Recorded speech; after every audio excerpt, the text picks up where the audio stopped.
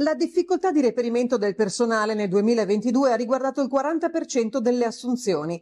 Tenderà ad aumentare ulteriormente anche per l'accelerazione della domanda attesa come effetto degli investimenti del Piano Nazionale di Ripresa e Resilienza.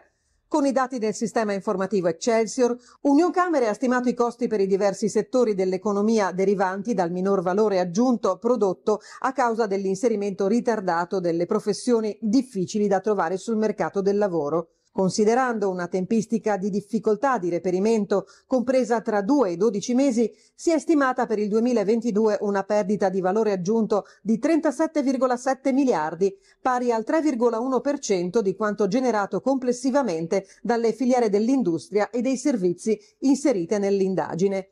Il costo del mancato incontro tra domanda e offerta rischia di aumentare nei prossimi anni anche a causa dei trend che stanno già cambiando il mercato del lavoro, la transizione digitale e green e l'andamento demografico.